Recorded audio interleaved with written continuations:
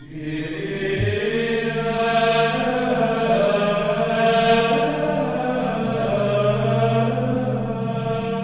el nombre del Padre, y del Hijo, y del Espíritu Santo, el Señor esté con vosotros. Con agradecimiento, iniciamos esta Eucaristía como siempre, con el deseo de preparar bien nuestro corazón para celebrar dignamente estos sagrados misterios. Pedimos al Señor perdón por nuestras faltas y pecados. Tú que has venido a salvar a los pobres, Señor, ten piedad. Tú que dijiste que había en el cielo más alegría por un solo pecador que se convirtiera que por 99 justos que no necesitan conversión, Cristo, ten piedad. Tú que eres el camino, la verdad y la vida, Señor, ten piedad. Dios Todopoderoso, tenga misericordia de nosotros, perdone nuestros pecados y nos lleve a la vida eterna. Oremos. Oh Dios, que para librarnos del poder del enemigo, quisiste que tu Hijo muriera en la cruz, concédenos alcanzar la gracia de la resurrección. Por Jesucristo nuestro Señor. Lectura del libro de los Hechos de los Apóstoles. En aquellos días un fariseo llamado Gamaliel, doctor de la ley, respetado por todo el pueblo, se levantó en el Sanedrín, mandó que sacaran fuera un momento aquellos hombres y dijo, Israelitas, pensad bien lo que vais a hacer con esos hombres. No hace mucho salió un tal Teudas, dándoselas de hombre importante y se le juntaron unos cuatrocientos hombres. Fue ejecutado, dispersaron a todos sus secuaces y todo acabó en nada. Más tarde, cuando el censo salió, Judas el Galileo, arrastrando detrás de sí gente del pueblo, también pereció y dispersaron a todos sus secuaces. En el caso presente mi consejo es este. No os metáis con esos hombres, soltadlos si su idea y su actividad son cosa de hombres, se dispersarán. Pero si es cosa de Dios, no lograréis dispersarlos. Y os expondríais a luchar contra Dios. Le dieron la razón y llamaron a los apóstoles. Los azotaron, les prohibieron hablar en nombre de Jesús y los soltaron. Los apóstoles salieron del Sanedrín contentos de haber merecido aquel ultraje por el nombre de Jesús. Ningún día dejaban de enseñar en el templo y por las casas anunciando el Evangelio de Jesucristo. Palabra de Dios. Te alabamos, Señor. Una cosa pido al Señor, habitar en su casa. Una cosa pido al Señor, habitar en su casa. El Señor es mi luz y mi salvación. ¿A quién temeré? El Señor es la defensa de mi vida. ¿Quién me hará temblar? Una cosa pido al Señor, habitar en su casa. Una cosa pido al Señor, eso buscaré, habitar en la casa del Señor por los días de mi vida, gozar de la dulzura del Señor contemplando su templo. Una cosa pido al Señor, habitar en su casa. Espero gozar de la dicha del Señor en el país de la vida. Espera en el Señor, sé valiente, ten ánimo, espera en el Señor. Una cosa pido al Señor, habitar en su casa. Aleluya. Aleluya.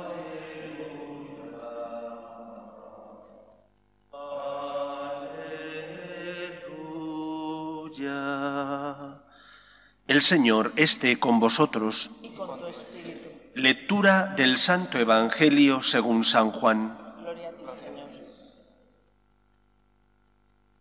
En aquel tiempo Jesús se marchó a la otra parte del lago de Galilea. Lo seguía mucha gente, porque habían visto los signos que hacía con los enfermos. Subió Jesús entonces a la montaña y se sentó allí con sus discípulos. Estaba cerca la Pascua, la fiesta de los judíos. Jesús entonces levantó los ojos y al ver que acudía mucha gente, dice a Felipe, ¿Con qué compraremos panes para que coman estos? Lo decía para tentarlo, pues bien sabía él lo que iba a hacer. Felipe le contestó, doscientos denarios de pan no bastan para que a cada uno le toque un pedazo. Uno de los discípulos, Andrés, el hermano de Simón Pedro, le dice, aquí hay un muchacho que tiene cinco panes de cebada y un par de peces. ¿Pero qué es eso para tantos? Jesús dijo, Decid a la gente que se siente en el suelo. Había mucha hierba en aquel sitio. Se sentaron. Solo los hombres eran unos cinco mil. Jesús tomó los panes, dijo la acción de gracias y los repartió a los que estaban sentados. Y lo mismo todo lo que quisieron del pescado. Cuando se saciaron, dice a sus discípulos, Recoged los pedazos que han sobrado que nada se desperdicie. Los recogieron y llenaron doce canastas, con los pedazos de los cinco panes de cebada que sobraron a los que habían comido. La gente entonces, al ver el signo que había hecho, decía, Este sí que es el profeta que tenía que venir al mundo. Jesús, sabiendo que iban a llevárselo para proclamarlo rey, se retiró otra vez a la montaña él solo. Palabra del Señor. Gloria a ti, Señor Jesús. Ante los problemas de la vida, las personas solemos reaccionar de forma distinta, pero normalmente la reacción que tenemos suele tener lugar o suele provenir en función de nuestra fe y de nuestra manera de ver el mundo. Recuerdo haber leído cómo algunos demagogos que siempre hay en el mundo, criticaban, por ejemplo, a Madre Teresa, porque decían que Madre Teresa de Calcuta, en lugar de promover, estirpar la pobreza, lo que hacía era simplemente cuidar a unos pocos pobres moribundos que había allí en Calcuta o en los distintos lugares donde su orden había abierto los dispensarios y sus casas. Eran demagogos, obviamente. Ellos no hacían nada por ayudar a los necesitados, pero sí se preocupaban de criticar al que lo hacía. Madre Teresa decía que ella no podía paliar el hambre en el mundo, pero que sí podía intentar consolar a ese moribundo que estaba a su lado para que al menos se marchara de este mundo con el cariño y la sonrisa de alguien que le atendía, y que eso merecía la pena. Esta era la actitud que tenía ella, esta gran santa del siglo XX. Fue capaz de poner su granito de arena, de no mirar hacia otro lado para criticar a los poderes públicos o para decir que mal está en el mundo, sino para preguntarse, ¿y yo qué puedo hacer por esta persona que sufre? Esto es lo que les ocurre a los discípulos de Cristo. Jesús les pregunta, ¿qué vamos a hacer con toda esta gente? Y la mayor parte de ellos simplemente dicen, no bastarían 200 denarios para que les tocara un poquito de pan a cada uno de ellos. Mientras que Andrés dice, aquí hay un muchacho que tiene cinco panes y dos peces. La actitud de uno y otro es distinta. Uno dice, no hay nada que hacer, el mal es demasiado grande. El otro se pregunta, bueno, yo puedo aportar esto. Quizás con esto no solucionemos el mal en el mundo, pero podamos ayudar a esta persona en concreto. Ante los problemas que vivimos, tú te tienes que preguntar, ¿y qué puedo hacer yo por ayudar al que sufre? ¿Y qué está en mi mano? ¿Qué puedo hacer para solucionar, aunque no pueda evitar el hambre en el mundo o, quitar el mal en el mundo, qué puedo hacer yo para intentar ayudar al que sufre, pasa a mi lado y necesita mi ayuda. Quizás no sea la solución para evitar la pandemia del coronavirus o para evitar el hambre en el mundo o los problemas estructurales que hay en la sociedad, esas estructuras de pecado de las que hablaba el Papa San Juan Pablo II. Pero tú pregúntate, ¿qué es lo que tú puedes hacer? Qué fácil es echar la vista hacia otro lado y decir es que los gobernantes no hacen nada, que en muchos casos no lo hacen, como estamos viendo, por ejemplo, en la crisis que estamos padeciendo, donde, por ejemplo, el Estado español compra test para hacer esos test a la gente y son test fallidos, porque los compran deprisa y corriendo, les engañan Tú pregúntate, ¿qué puedes hacer tú? Como tantas personas que están preocupándose por ayudar a los que están a su lado, llevando comida a los enfermos, comprando la compra para llevársela a los ancianos, atendiendo a los damnificados de esta pandemia. Qué fácil es echar la vista a otro lado y criticar la situación, pero no mover un dedo. Pregúntate tú, ¿qué puedo hacer yo? ¿Qué querrá el Señor que haga? ¿Qué dones y talentos tengo yo que Dios me ha dado para que pueda ayudar al que sufre y pasa a mi lado? Creemos en la teología del cuerpo místico que es la Iglesia. Y esa teología nos hace entender que esta Iglesia, que está formada por muchos miembros, tiene una misión que llevar a cabo. Y cada uno de nosotros, en función de su vocación personal, tiene que llevar a cabo una tarea concreta y particular. Pregúntate tú, ¿qué es lo que te toca? Los pies no pueden pretender ser la cabeza. La cabeza no puede pretender ser las manos. Cada miembro tiene su importancia. Pero si ese miembro no asume su responsabilidad, si ese miembro no examina y se da cuenta de cuáles son sus dones, sus talentos, esos que Dios le ha dado para que los ponga en juego, entonces quedará sin hacerse aquello que Dios desea. Porque te dio unos talentos, pero ¿cómo los has invertido? ¿Qué has hecho con ellos?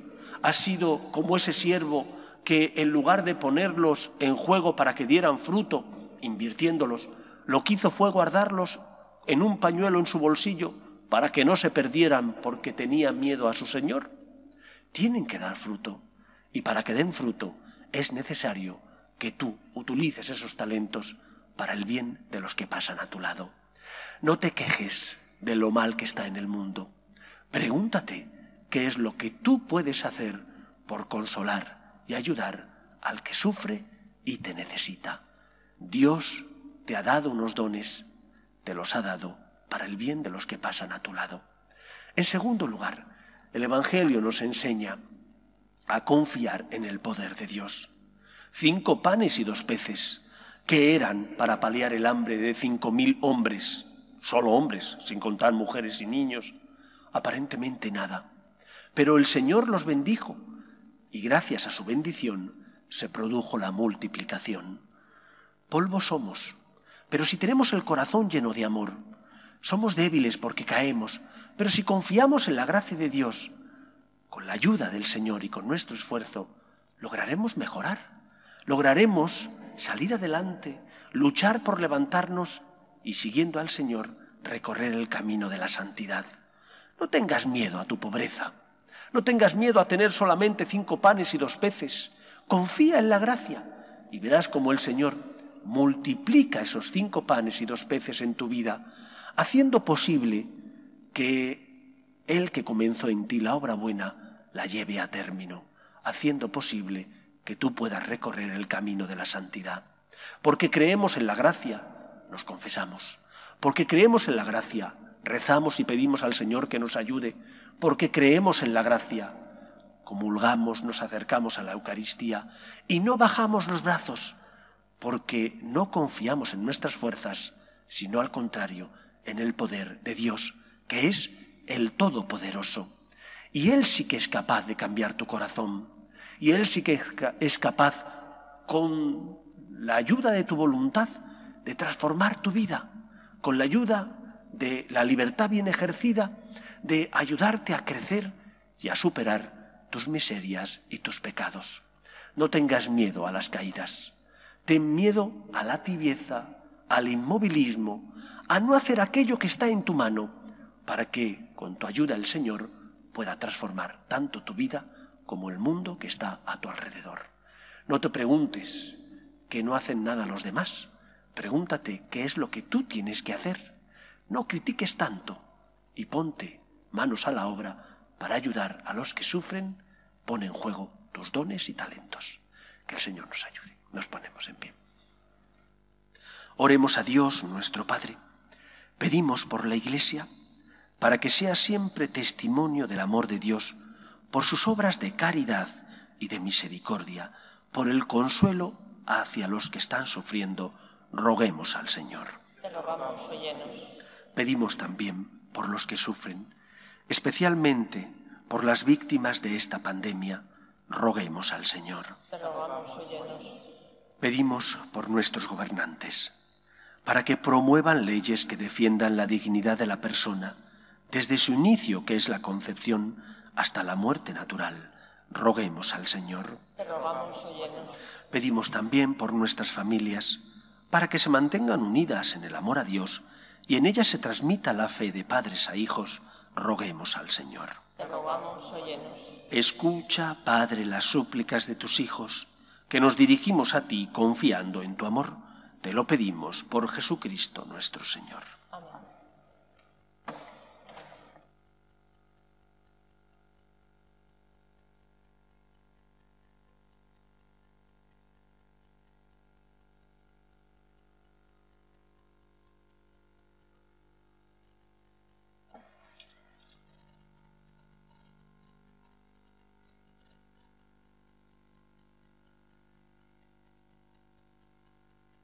Bendito seas, Señor, por este pan, fruto de la tierra y del trabajo del hombre, que recibimos de tu generosidad y ahora te presentamos.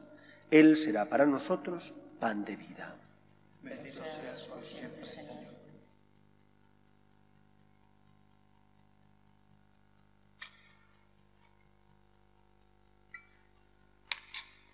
Bendito seas, Señor, por este vino, fruto de la vid y del trabajo del hombre, que recibimos de tu generosidad y ahora te presentamos. Él será para nosotros bebida de salvación. Bendito seas por siempre, Señor.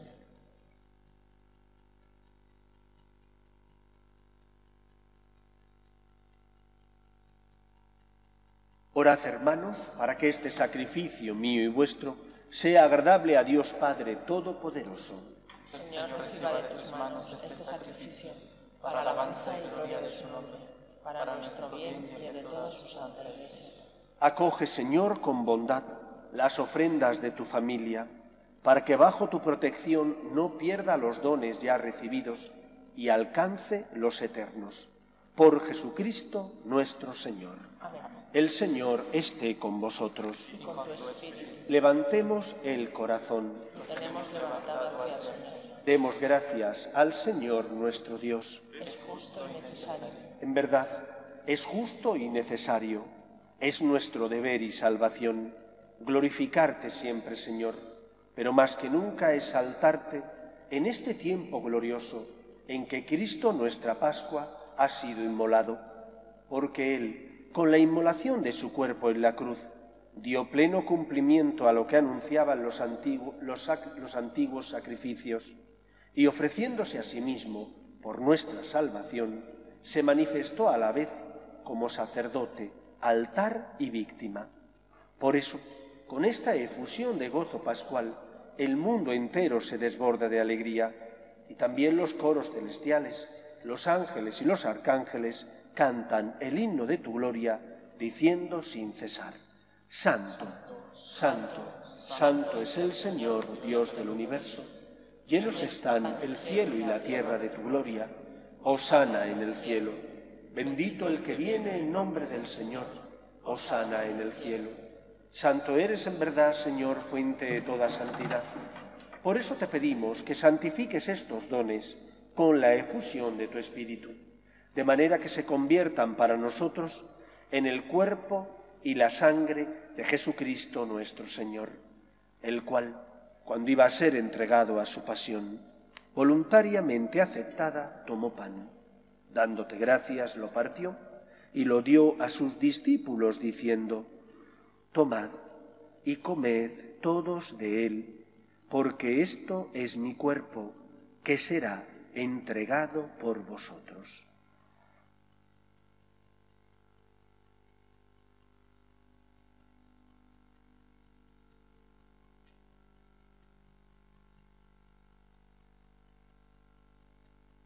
Del mismo modo, acabada la cena, tomó el cáliz y dándote gracias de nuevo, lo pasó a sus discípulos diciendo, Tomad y bebed todos de él, porque este es el cáliz de mi sangre, sangre de la alianza nueva y eterna, que será derramada por vosotros y por muchos para el perdón de los pecados.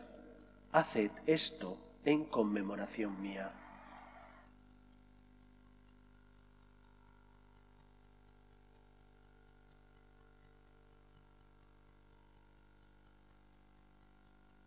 Este es el sacramento de nuestra fe. Anunciamos tu muerte, proclamamos tu resurrección. Ven, Señor Jesús.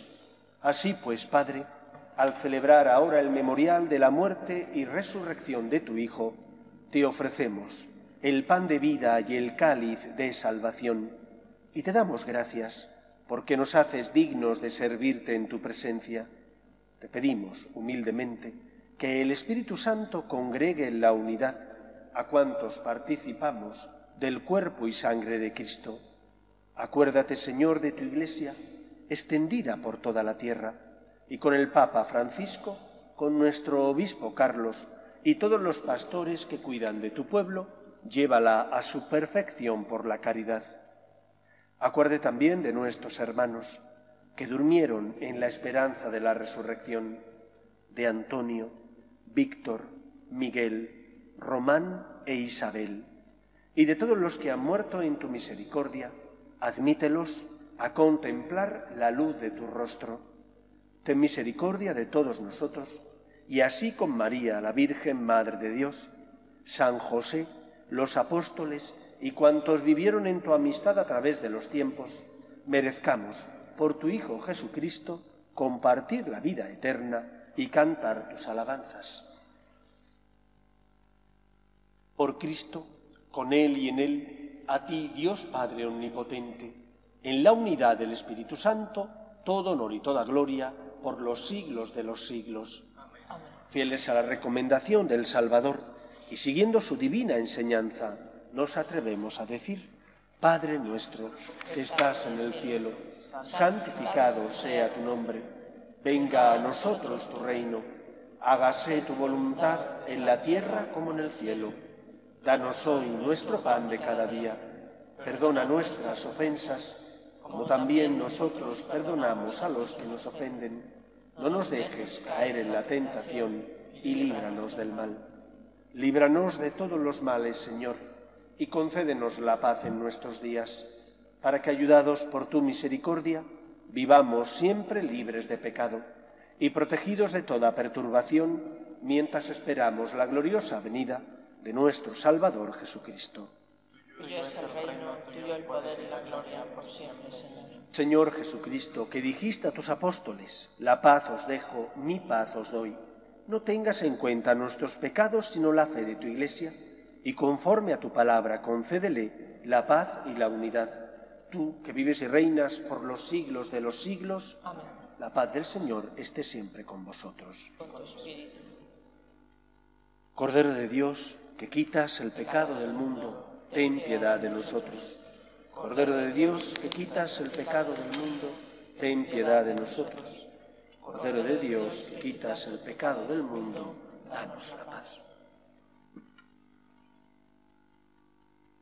Este es el Cordero de Dios, que quita el pecado del mundo. Dichosos los llamados a la cena del Señor. Señor, no soy digno de que entres en mi casa, pero una palabra tuya bastará para sana.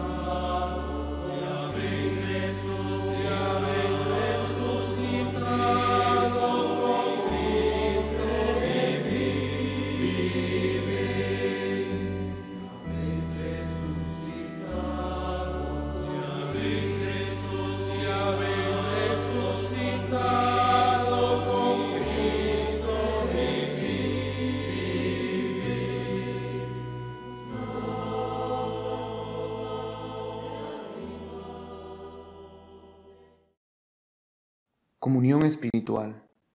Creo, Jesús mío, que estás real y verdaderamente en el cielo y en el santísimo sacramento del altar. Te amo sobre todas las cosas y deseo vivamente recibirte dentro de mi alma, pero no pudiendo hacerlo ahora sacramentalmente, ven al menos espiritualmente a mi corazón. Y como si ya te hubiese recibido, te abrazo y me uno del todo a ti. Señor, no permitas que jamás me aparte de ti. Amén.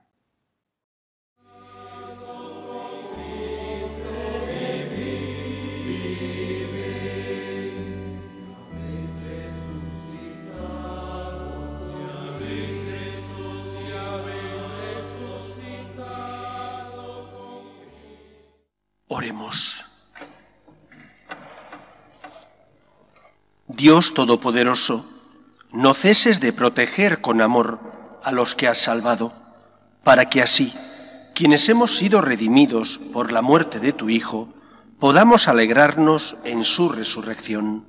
Por Jesucristo nuestro Señor. El Señor esté con vosotros. Y la bendición de Dios Todopoderoso, Padre, Hijo y Espíritu Santo, descienda sobre vosotros. Podéis ir en paz. Demos gracias a Dios. Regina Celi, letare, alleluia, quia quem meruisti portare, alleluia, resurrexit, sicut. Aleluya. Ora pro nobis Deum. Aleluya.